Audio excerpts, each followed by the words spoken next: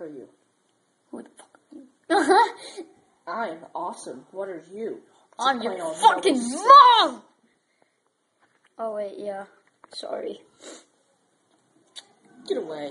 Alright, hey guys, this is Call of UNSC coming to you with a awesome figure from Custom.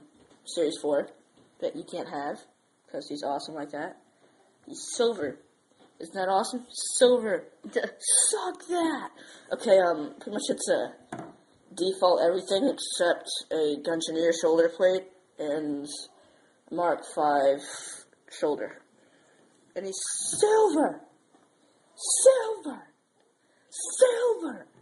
Silver! Okay. You cannot stress that enough. Alright, um, well, he's gonna be on a new series. I mean, our, pretty much, not, it's not new anymore. Our series called Spartan's Life.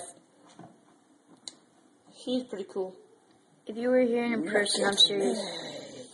He's like so Yeah. shiny and Like, sexy. fr- what, the cool thing is from the distance, he looks like he's white, and as you come closer, he turns gray and then silver. Yeah, yeah, yeah, yeah, yeah. Hello? Yeah. Hello? Anyone there? Yeah, yeah, yeah. Okay, basically, this was the Noble Six figure that came with the Mongoose pack.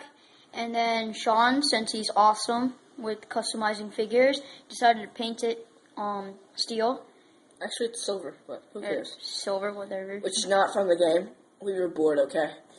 And, um, there'll be more custom reviews later. Like, um, if you haven't seen the review about the Warthog that I made, custom transport hog, check that out.